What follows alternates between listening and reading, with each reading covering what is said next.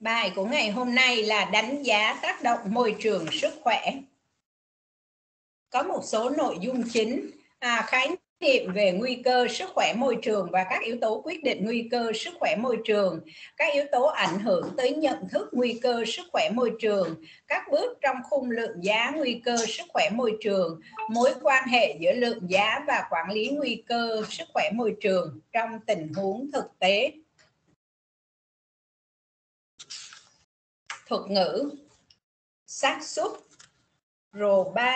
à, probability là khả năng à, xảy ra của các sự kiện trong tương lai à, mà khả năng này phụ thuộc vào một hiện tượng vật lý nào đó mang tính ngẫu nhiên có thể dự đoán được khi có đủ thông tin hoặc có khi là các hiện tượng không thể dự đoán được. Thế thì xác suất có nó sẽ diễn ra trong tương lai một cách ngẫu nhiên ha và người ta có thể dự đoán được hoặc không dự đoán được thì đó là à, xác suất ha à, lặp lại một lần nữa là cái xác suất nó cao hơn lần đầu lặp lại lần thứ ba là cao hơn lần thứ nhất ba lần à. còn phơi nhiễm expose là một thuật ngữ dùng để chỉ sự tiếp xúc của cơ thể người lành với lại dịch cơ thể. À, của người bệnh ma hay là người mang mầm bệnh dẫn tới nguy cơ lây nhiễm. Thế thì giữa phơi nhiễm và lây nhiễm cái nào nguy hiểm hơn? Lây nhiễm cái mức độ nguy hiểm về sức khỏe nó cao hơn. Phơi nhiễm thì là có thể bệnh hoặc không Ờ, bệnh. Ha à, còn lây nhiễm là đã nhiễm vào người rồi. Tôi cho ví dụ phơi nhiễm là gì nè. Trong đại dịch covid rất là nhiều ờ, bác sĩ dược sĩ à, à, kỹ à, kỹ thuật viên nhân viên y tế có cả sinh viên đại học quốc tế hồng bàng chúng ta ha, à, lên đường chống dịch. Thì cái việc mà chúng ta tiếp xúc thường xuyên với cái nguồn lây nhiễm là những người à, có thể bị à, F0 hoặc không bị trong cái trường hợp là chích ngừa. Rồi à, nếu làm ở bệnh viện giả chiến là đã thử dương tính rồi. Tức là mình tiếp xúc với nguy cơ lây nhiễm thì là mình có mình đang bị phơi nhiễm ha. Những người mà đến với à, đến gần cái nguồn lây bệnh ha, có thể bị lây hoặc không bị lây thì tức là người đó đang phơi nhiễm. Khái niệm về nguy cơ. Xác suất một hậu quả xấu sẽ xảy ra trong một khoảng thời gian nào đó trên một người, một nhóm người hay trên cây cối, động vật hay hệ sinh thái của một vùng nào đó do phơi nhiễm với một yếu tố nguy cơ ở một liều hay nồng độ nhất định đây là khái niệm về nguy cơ theo à, Hội đồng Sức khỏe Môi trường Australia à, à, ra cái định nghĩa này vào năm 2004. xác suất một hậu quả xấu sẽ xảy ra trong một khoảng thời gian nào đó trên một người, một nhóm người hoặc trên cây cối, động vật hay hệ sinh thái của một vùng nào đó do phơi nhiễm với yếu tố nguy cơ ở một liều hay nồng độ xác định nhất định thì đó là nguy cơ. Nguy cơ được tính bằng công thức xác suất nhân với hậu quả nhân với yếu tố nguy cơ và nhân với phơi nhiễm. À, tiếng Anh là risk là nguy cơ là probability nhân với lại consequence nhân với lại hazard à, nhân với lại expose thì là các bạn học giúp cô cái à, đoạn à, trên là để viết khái niệm đánh trắc nghiệm và cái nguy cơ học cả tiếng Việt tiếng Anh để có khi là điền khuyết nha. À, tức là viết ngắn á.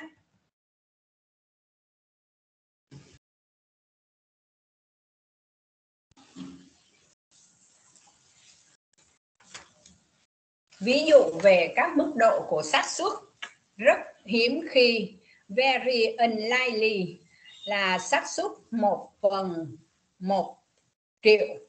Hiếm khi là unlikely xác suất một phần trăm ngàn. Ít có khả năng very là unlikely à, là một trên 10 ngàn một phần 10 ngàn có khả năng là likely xác suất một phần ngàn và cuối cùng là rất có khả năng very likely xác suất một phần trăm. À, ví dụ về các mức độ của hậu quả. Hậu quả có thể là không đáng kể. Insignificant là không gây chấn thương. Nhẹ là minor cần sơ cứu vừa là moderate cần điều trị nghỉ ngơi từ 1 đến 3 ngày. Càng nặng là major là cần điều trị nghỉ ngơi 3 ngày trở lên. Và cuối cùng là nghiêm trọng. À, thứ năm là nghiêm trọng. À, à, catastrophic thậm chí là đưa đến tử vong.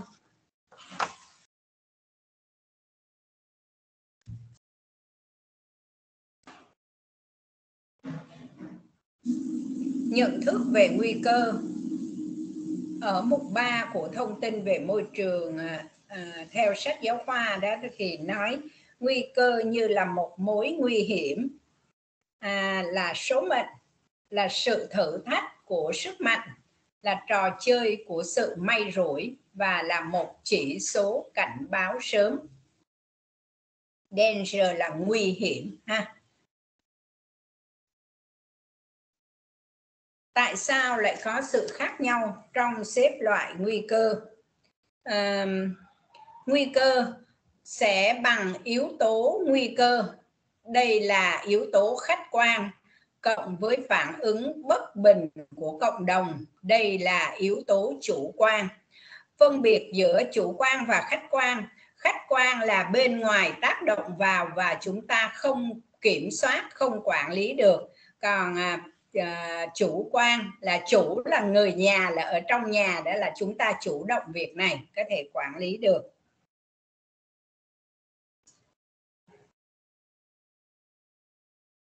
Các yếu tố ảnh hưởng đến nhận thức nguy cơ à, gồm có các yếu tố làm giảm sự bất bình của cộng đồng bao gồm các yếu tố là tự nguyện nè có khả năng kiểm soát phân bổ công bằng nguy cơ thông thường không gây sợ hãi tự nhiên được hiểu rõ quen thuộc chấp nhận được về mặt đạo đức luân lý hoặc được truyền thông từ các nguồn đáng tin cậy.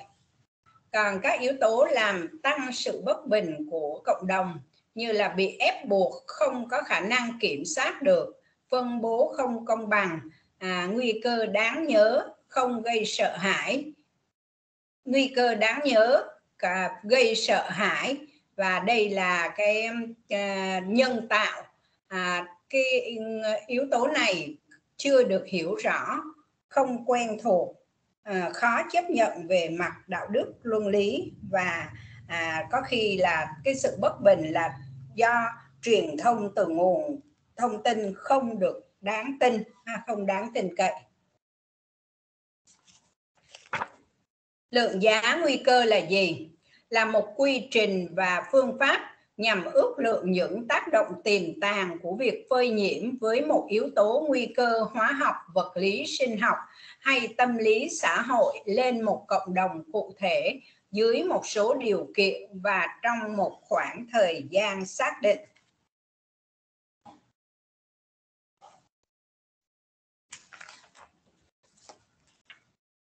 mười cái slide đầu thì nó nó là nói chung nói về cái khái niệm thôi. Ha không có gì để giải thích. Nó là nó. À, ví dụ tại sao tôi tên là nhất định? Bởi vì ba má tôi đặt tên như thế. À, thì không có gì để triển khai thêm. À, bây giờ bắt đầu đến cái ý tiếp theo là mục đích của đánh giá tác động môi trường để làm gì. Đầu tiên là xác định và dự báo các tác động đến môi trường khu vực một vùng hoặc toàn quốc của một sự à, dự án chính sách phát triển, góp thêm các tư liệu khoa học cần thiết cho việc ra quyết định để thực hiện một hành động phát triển. Đánh dấu sao cái slide này có trắc nghiệm. Vai trò của đánh giá tác động môi trường. Vai trò đầu tiên là hoàn thiện thiết kế và lựa chọn vị trí dự án sẽ triển khai vai trò thứ hai là cung cấp thông tin à, chính xác cho việc ra quyết định cho việc thực hiện dự án. Vai trò thứ ba là tăng cường trách nhiệm của các bên liên quan trong quá trình phát triển dự án. Thứ tư là đưa dự án vào đúng bối cảnh môi trường và xã hội mà dự án sẽ triển khai. Thứ năm là giảm bớt những thiệt hại về môi trường do dự án đem đến thứ sáu là làm cho dự án có hiệu quả hơn về mặt kinh tế và xã hội. À, cuối cùng á, vai trò cuối cùng vai trò thứ bảy đó là đóng góp tích cực góp phần cho phát triển bền vững. Những đối tượng phải lập báo cáo đánh giá tác động môi trường đó là những dự án công trình quan trọng quốc gia thứ hai là dự án có sử dụng một phần diện tích đất hoặc có ảnh hưởng xấu đến khu bảo tồn thiên nhiên vườn quốc gia các khu du tích lịch sử văn hóa di sản tự nhiên. Danh lam thắng cảnh đã được xếp hạng. À, dự án có nguy cơ ảnh hưởng xấu đến nguồn nước lưu vực sông vùng ven biển vùng có hệ sinh thái được bảo vệ à, đối tượng tiếp theo là dự án xây dựng kết cấu hạ tầng khu kinh tế khu công nghiệp khu công nghệ cao khu chế xuất cụm làng nghề. À, dự án xây dựng mới đô thị khu dân cư tập trung. Dự án khai thác sử dụng nước dưới đất tài nguyên thiên nhiên quy mô lớn dự án khác có tiềm ẩn nguy cơ lớn gây tác động xấu đối với môi trường.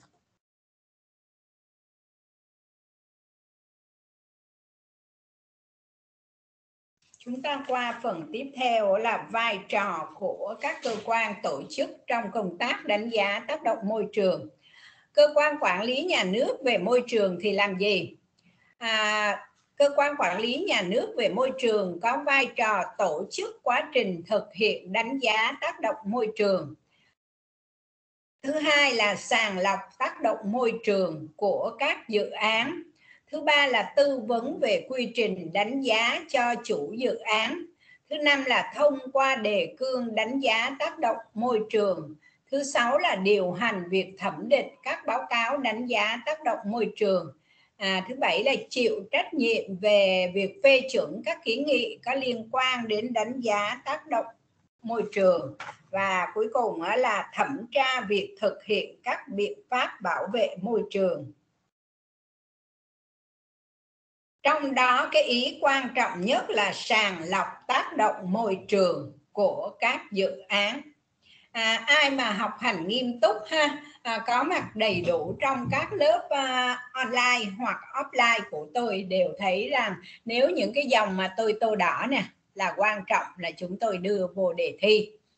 À, còn cái từ khóa mà để tìm ra vai trò của cơ quan quản lý nhà nước đó là tổ chức ha sàng lọc tư vấn thông qua điều hành thẩm định phê chuẩn ha thẩm tra nói tóm lại những cái gì mà cái từ nào mà chỉ có người xếp được làm lính không có làm thì nó là vai trò của cơ quan quản lý nhà nước về môi trường. Vai trò của các cơ quan tổ chức trong công tác đánh giá tác động môi trường. À, cái à, cơ quan thứ hai đó là chủ dự án chủ dự án thì có trách nhiệm hoàn toàn về dự án. Phải cung cấp các thông tin khoa học và kỹ thuật cần thiết cho tất cả các bước của quá trình đánh giá tác động môi trường. Khi thẩm định đánh giá tác động môi trường, chủ dự án phải trả lời các câu hỏi về những tác động môi trường và các biện pháp bảo vệ và có trách nhiệm thực hiện các biện pháp giảm thiểu và tiến hành giám sát môi trường thế thì cách nào để tìm ra vai trò của chủ dự án? Chủ dự án đây là ai? Chính là những cái người mà chuẩn bị thành lập một cái uh, chương trình nào đó thì phải có trách nhiệm phải cung cấp phải trả lời câu hỏi ha và phải giảm thiểu và giám sát môi trường. À, những cái từ đó để cho chúng ta biết được đấy là vai trò của chủ dự án. Tôi cho ví dụ bây giờ tôi muốn mở một cái nhà may nha. À, tôi là chủ dự án tôi muốn mở một cái khu um, may mặc công nghiệp. À, nhưng cái địa điểm mà tôi uh, tôi thuê hoặc tôi mua được thì nó lại nằm gần môi một ngôi trường mẫu giáo ha.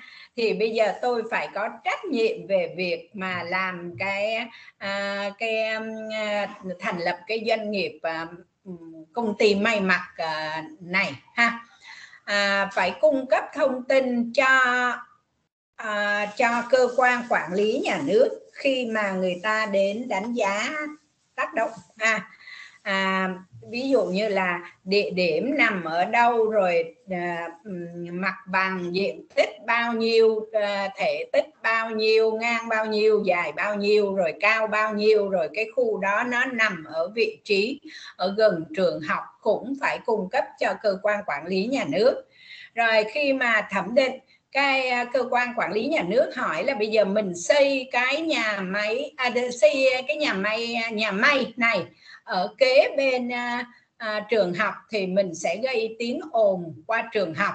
Thì mình phải trả lời rằng chúng tôi sẽ giảm thiểu cái à, tiếng ồn nhất là cái giờ nghỉ trưa của các bé là máy không vận hành ha hay là tăng ca để làm việc vào ban đêm để không có ảnh hưởng đến cái à, âm thanh ảnh hưởng đến trường mẫu giáo hay là người ta hỏi mình là à, bên mình á, khi cắt vải có nhiều bụi quá à, rồi theo cái làn gió nó bay qua à, bên ngôi ngôi trường à, mẫu giáo ảnh hưởng đến các bé như thế nào? Thì mình phải trả lời là à, mình à, đề ra cái giải pháp hạn ờ, giảm thiểu cái à, cái nguy cơ đó bằng cách là à, chúng tôi có một cái hệ thống lưới là ngăn những cái bụi không có đi qua bên trường hoặc là à, chúng tôi thiết kế những cái quạt ờ, ờ, để hướng gió. Cái khu mà cắt vải á, thì hướng ngược lại với à, không có bay cái bụi qua bên trường. Đó là chủ dự án. À, vai trò của các chuyên gia là phải giúp chủ dự án thực hiện đánh giá tác động môi trường.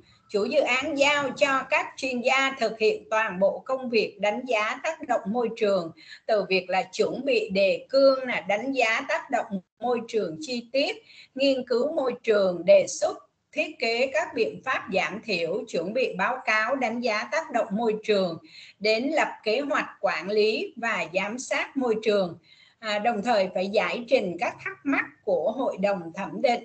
Ngoài ra chuyên gia môi trường có thể là thành viên à, à, hội đồng thẩm định đánh giá tác động môi trường. Cái đoạn này quan trọng là giúp chủ dự án thực hiện đánh giá tác động môi trường là nghiên cứu môi trường đề xuất thiết kế các biện pháp giảm thiểu chuẩn bị báo cáo đánh giá tác động môi trường để lập kế hoạch quản lý và giám sát môi trường. Câu trắc nghiệm sẽ là à, vai trò của à, cơ quan tổ chức nào sau đây? Ha à, vai trò của chủ dự án à, hai chấm à, giúp chủ dự án thực hiện đánh giá tác động nghiên cứu môi trường đề xuất. Đó thì ba cái này không phải ha thì chúng ta chọn cái còn lại. Đó đó là ừ, cái câu ngoại suy hoặc là vai trò của chuyên gia phẩy một cái ngoại trừ ha. Tôi sẽ cho ba cái ý này nha. Và một cái tôi lấy từ bên cái à, vai trò của chủ dự án hoặc của cơ quan nhà nước thì là chúng ta không chọn. Ngoài ra, các cơ quan quản lý nhà nước khác thì có trách nhiệm quản lý bảo vệ tài nguyên môi trường, bảo vệ sức khỏe cộng đồng và phát triển kinh tế xã hội, có trách nhiệm tham gia vào quá trình đánh giá tác động môi trường của các dự án do bộ ngành mình quản lý. Các cơ quan này có thể cử đại diện tham gia vào hội đồng thẩm định, đánh giá tác động môi trường theo yêu cầu của cơ quan quản lý môi trường. Còn vai trò của cộng đồng là tham gia vào suốt quá trình đánh giá tác động môi trường. Cộng đồng là ai? Là những người xung quanh. Ví dụ trở lại cái việc à, mình xây cái nhà may à, may mặc công nghiệp ha ở kế bên cái trường mẫu giáo thì cộng đồng tức là toàn bộ dân cư xung quanh hàng xóm của cái trường mẫu giáo và của cái à, nhà may của mình ha. Thì cộng đồng là người mà tham gia vào suốt quá trình đánh giá tác động môi trường. Ừ. cơ quan quản lý nhà nước thì chỉ tới vào một thời điểm nào đó ha chủ dự án thì vẫn quản lý đó nhưng mà à, có khi là không có mặt ở đó quản lý trên giấy tờ vân vân ha. Nhưng mà cộng đồng là từ đầu đến cuối tham gia vào suốt quá trình đánh giá tác động môi trường những ý kiến của cộng đồng là cơ sở để chủ dự án hạn chế tác động. Cộng đồng còn là nơi giám sát các tác động của chính dự án. Ngoài ra, sự tham gia của cộng đồng càng sớm trong à, đánh giá tác động môi trường thì hiệu quả công tác đánh giá tác động môi trường càng cao.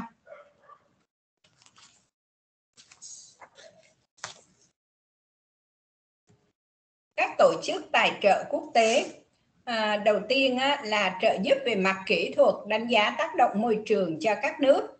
À, sau đó là cung cấp chuyên gia đánh giá tác động môi trường cung cấp tài liệu kỹ thuật các phương pháp chuẩn cứ để đánh giá và trao đổi và chuyển tải kinh nghiệm về đánh giá tác động môi trường. Trường đại học viện trung tâm nghiên cứu à, có vai trò đào tạo nhân lực cho công tác đánh giá tác động môi trường. Ví dụ đây là đại học quốc tế hồng bàng đang dạy môi trường sức khỏe. Biết đâu sau này sẽ có những sinh viên ra trường làm công tác trong lĩnh vực uh, uh, quản lý về môi trường ha. Thì trách nhiệm của trường là đào tạo nhân lực. À, trách nhiệm thứ hai là cung cấp chuyên gia thực hiện đánh giá tác động môi trường và có thể là thành viên của hội đồng thẩm định ở trường chúng ta có chủ tịch hội bảo vệ môi trường đó là à, tiến sĩ tiến ở bên khoa y.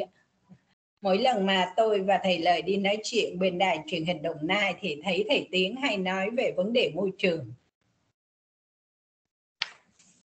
Các nguyên tắc thực hiện đánh giá tác động môi trường có 7 nguyên tắc. Đầu tiên là sự tham gia sự tham gia hợp lý và đúng lúc của các bên hữu quan vào quá trình đánh giá tác động môi trường, tính công khai đánh giá và cơ sở đánh giá tác động cần được công khai và kết quả đánh giá có thể tham khảo một cách dễ dàng. Tính chắc chắn, quá trình và thời gian biểu của công tác đánh giá được thông qua trước và được các bên tham gia thực hiện một cách đầy đủ. Tính trách nhiệm những người ra quyết định phải có trách nhiệm với các bên hữu quan về quyết định của mình, tuân theo kết quả của quá trình đánh giá. Sự tín nhiệm, sự đánh giá được đảm bảo về chuyên môn và khách quan. Chi phí, hiệu quả, quá trình đánh giá và kết quả của nó phải đảm bảo cho việc bảo vệ môi trường với chi phí xã hội nhỏ nhất tính linh hoạt quy trình đánh giá phải phù hợp để tạo ra hiệu quả và có hiệu lực cho mọi dự án và trong mọi hoàn cảnh. Nhằm mục đích xem xét và quyết định uh, quy mô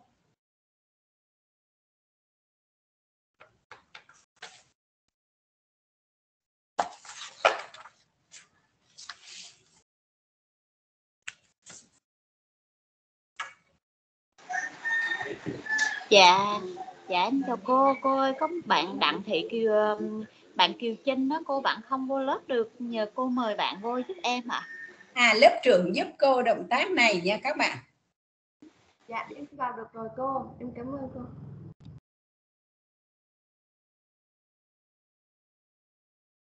Sự tín nhiệm sự đánh giá được đảm bảo về chuyên môn và tính khách quan chi phí hiệu quả quá trình đánh giá và kết quả của nó phải đảm bảo cho việc bảo vệ môi trường với chi phí xã hội nhỏ nhất. Tính linh hoạt quy trình đánh giá phải phù hợp để à, tạo ra hiệu quả và có hiệu lực cho mọi dự án và trong mọi hoàn cảnh. Nhằm mục đích xem xét và quyết định quy mô mức độ đánh giá của tác động môi trường của dự án từ đó chia ra làm ba loại.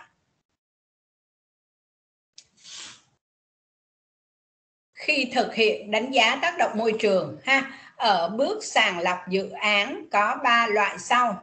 Loại 1 yêu cầu phải có đánh giá tác động môi trường chi tiết. Đây là loại dự án có nhiều tác động tiêu cực đến môi trường, bắt buộc phải đánh giá tác động môi trường hai bước, sơ bộ và chi tiết. Loại 2 chưa rõ ràng cần có đánh giá tác động môi trường hay không. Các dự án có thể gây nên một số các tác động tiêu cực đến môi trường. À, Tuy nhiên, có khả năng khắc phục khi sử dụng các biện pháp giảm thiểu thích hợp và việc xác định các biện pháp này không khó khăn.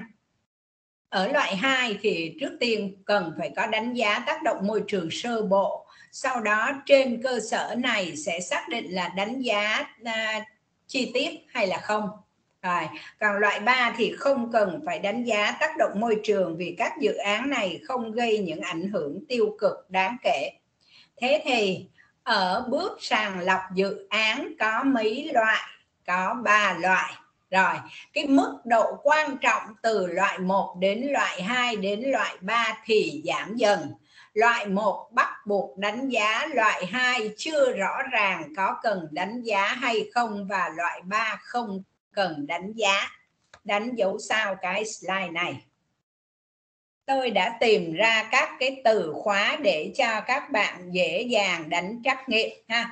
À, ở cái bước sàng lọc dự án yêu cầu phải có đánh, đánh giá tác động môi trường chi tiết là loại dự án có nhiều tác động tiêu cực đến môi trường bắt buộc đánh giá ở hai bước sơ bộ và chi tiết đây là à, phân loại loại mấy A loại 1, B loại 2, C loại 3, D tất cả đúng chọn loại 1 ha. Còn để chọn loại 2 thì có chữ chưa rõ ràng cần đánh giá hay không. Loại 3 thì không cần phải đánh giá.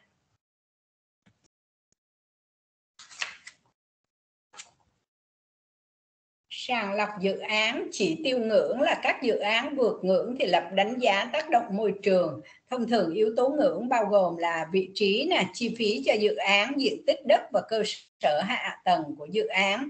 Chỉ tiêu về vùng môi trường nhạy cảm, dự án có hay không nằm trong vùng nhạy cảm môi trường.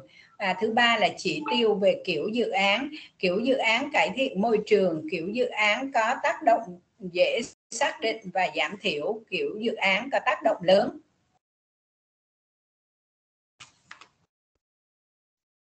Xác định phạm vi đánh giá tác động môi trường. À, cân nhắc các vấn đề môi trường chính cần nghiên cứu các phương án chọn và đảm bảo để phạm vi không gian thời gian và mức độ đánh giá tác động môi trường tương xứng với quy mô dự án. Xác định các phương pháp đánh giá tác động môi trường thích hợp tạo điều kiện thông tin cho vùng dân cư dự án biết về các vấn đề môi trường, các phương pháp thực hiện để cộng đồng có thể tham gia, tạo điều kiện để thống nhất cách giải quyết các vấn đề môi trường dễ gây mâu thuẫn về quyền lợi giữa tổ chức, à, cơ quan, cộng đồng và chủ dự án, xác định kinh à, phí dành cho đánh giá tác động môi trường. Kết quả cuối cùng là hình thành kế hoạch chi tiết cho đánh giá tác động môi trường các bạn à, đọc hiểu thôi. À, đánh giá tác động môi trường. Ở bước nhận dạng các tác động thì có ba loại chính. À, loại thứ nhất là tác động kinh tế xã hội thứ hai là sinh học và thứ ba là tác động vật lý và hóa lý. À, nếu mà nhận dạng bằng cách phân chia theo nguồn gốc thì có tác động trực tiếp gián tiếp và tích dồn.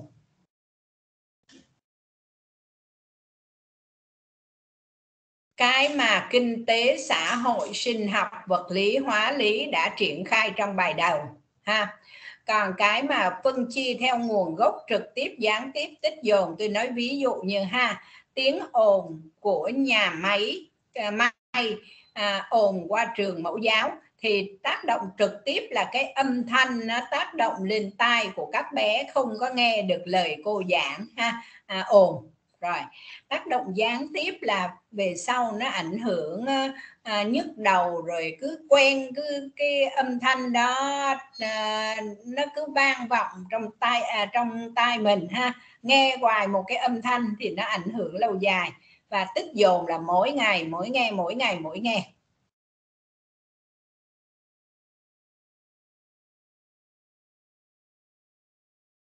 Rồi ở bước tiếp theo là phân tích và đánh giá tác động. Khi phân tích và đánh giá tác động, cần phải xét đến các khía cạnh khác nhau của mỗi tác động. Bản chất của tác động, cường độ của tác động, phạm vi về lãnh thổ của tác động, thời gian của tác động, thời đoạn của tác động. Tác động có thể hoàn nguyên hay không thể hoàn nguyên, xác suất xảy ra tác động và ý nghĩa của tác động trở lại cái ví dụ về tiếng ồn của nó. Bản chất của tác động là âm thanh. Cường độ của tác động là cứ lặp đi lặp lại âm sầm. À, à, phạm vi về lãnh thổ là bao trùm xung quanh cái khu nhà, nhà đó cả trường mẫu giáo và các người hàng xóm lân cận. Thời gian là thường từ mấy giờ đến mấy giờ mà nhà máy hoạt động. Thời đoạn là mỗi lần tác động là bao lâu? Ha. À, tác động có thể hoàn nguyên hay không thể hoàn nguyên tức là à, cái âm thanh này có thể ngưng hẳn ha. Là tác động hoàn nguyên là trả lại cái môi trường à, không có tiếng ồn à. xác suất là bao nhiêu lần? Dự báo quy mô và cường độ tác động. À, phán đoán của chuyên gia thì thường áp dụng cho các tác động xã hội. Một số các phương pháp bổ trợ cho phương pháp này là điều tra xã hội học phỏng vấn hội thảo. À, bây giờ ví dụ khi mà chúng ta xây um, nhà máy may ở kế bên trường học. Khi chưa được phép mình chưa có may ha chưa có công nhân chưa có vận hành máy. Thế thì mời cái ban mà xuống đánh giá thì chuyên gia mà có có cái ờ, chuyên môn về môi trường. Người ta nói ngay mai mốt mà máy vận hành là sẽ um sùm ồn ở bên kia. Đó.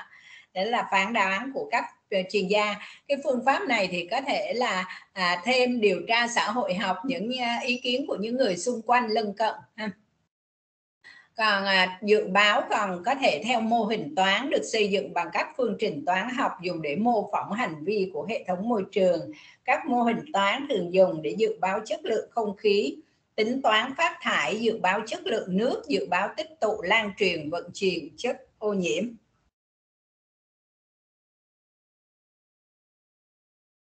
Để dự báo quy mô và cường độ tác động có thể dùng nhiều các phương pháp và mô hình khác nhau đây là công tác do các nhà chuyên môn thực hiện và thường khá tốn kém. Công tác này thường chỉ dự báo cho các tác động có tầm quan trọng đặc biệt. À, yêu cầu cơ bản của dự báo là lượng hóa quy mô và cường độ tác động. Trong một số trường hợp không thể lượng hóa được thì dùng phương pháp so sánh. À, các à, phương pháp mà sử dụng bao gồm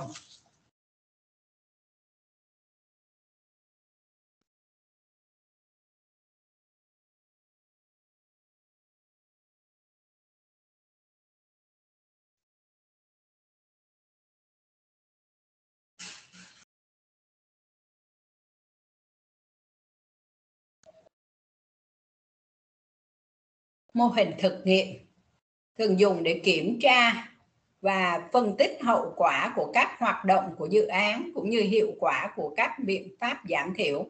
Thực nghiệm tức là làm thử này à, làm thử xem nó nó ảnh hưởng như thế nào thì gọi là mô hình thực nghiệm. Mô hình vật lý là làm mô phỏng các hệ thống môi trường bằng cách thu nhỏ quy mô để tiến hành nghiên cứu dự báo tác động, có hai loại mô hình vật lý là trực quan như là phát họa ảnh, minh họa số địa hình, viễn thám và mô hình làm việc, thu nhỏ hệ thống và có thể quan trắc xác định sự thay đổi trên mô hình.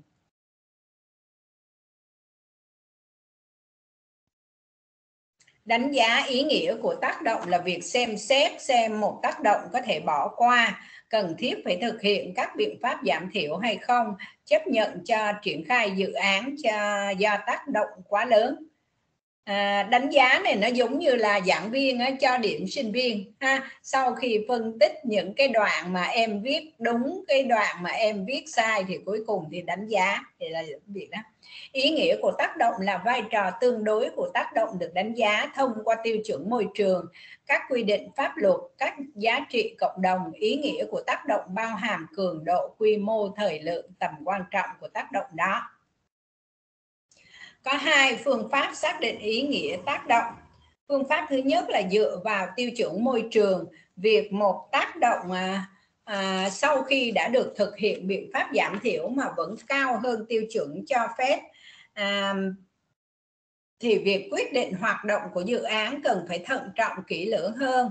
Nếu việc xác định ý nghĩa tác động chỉ dựa vào tiêu chuẩn sẽ gặp nhiều khó khăn do còn có nhiều lĩnh vực chưa hoặc không có tiêu chuẩn và sự thừa nhận của tiêu chuẩn cũng là vấn đề cần quan tâm.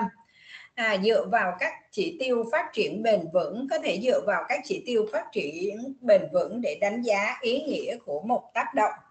Cái bộ ờ, chỉ tiêu này gồm có nhóm chỉ tiêu liên quan đến tầm quan trọng sinh thái nè nhóm chỉ tiêu liên quan đến vai trò xã hội và cuối cùng là nhóm chỉ tiêu dựa vào tiêu chuẩn môi trường. Để giảm thiểu và quản lý à, các tác động uh, các nội dung cần à, xem xét giảm thiểu quản lý gồm có xem xét và lựa chọn phương án thay đổi quy hoạch và thiết kế đề xuất các biện pháp giảm thiểu đề xuất các biện pháp ngăn ngừa đền bù thiệt hại à, trả lại tài nguyên cho cá nhân và tổ chức thiệt hại tạo ra tài nguyên nơi cư trú tương tự như vùng dự án đền bù bằng tiền đào tạo ngành nghề và cải thiện cơ sở hạ tầng.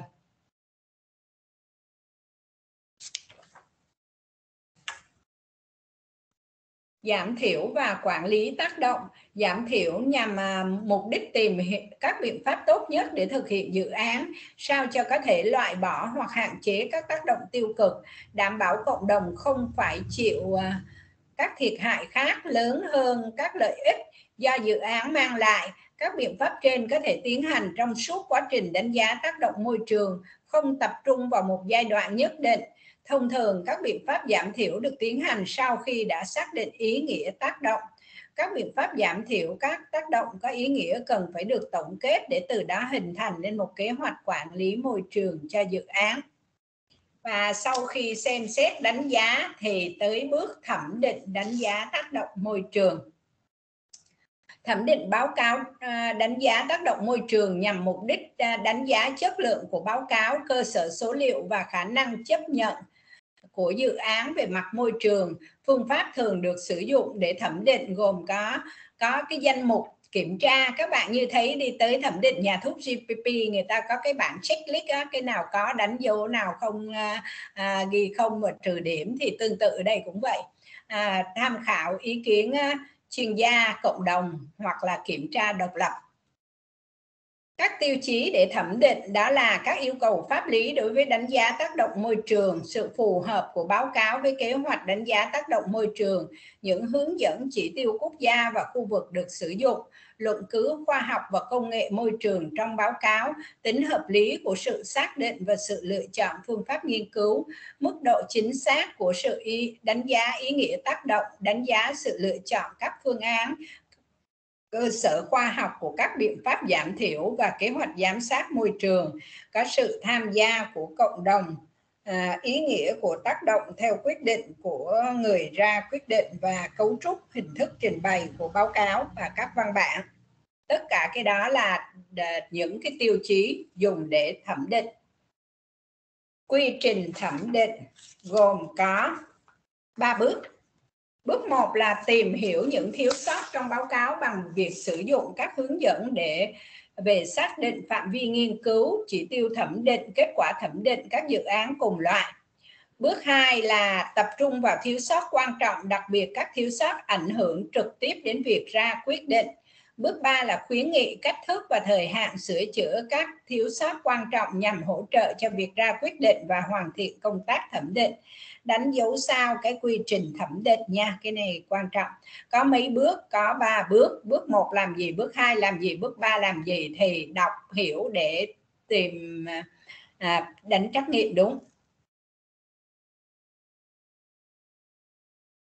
Qua đến phần giám sát tác động, giám sát tác động môi trường là tổ hợp các biện pháp khoa học kỹ thuật, công nghệ và tổ chức đảm bảo kiểm soát một cách có hệ thống trạng thái và sự biến đổi chất lượng môi trường do tác động của việc thực hiện dự án gây ra, bao gồm gồm các công việc, quan trắc, đo đạc, phân tích và thông tin về chất lượng môi trường, mục đích giám sát tác động, đảm bảo tác động không vượt mức cho phép, kiểm tra các biện pháp giảm thiểu đã đề nghị trong đánh giá tác động môi trường và cảnh báo sớm các thiệt hại tiềm năng có thể xảy ra. Đây là cái khung lượng giá và quản lý nguy cơ sức khỏe môi trường.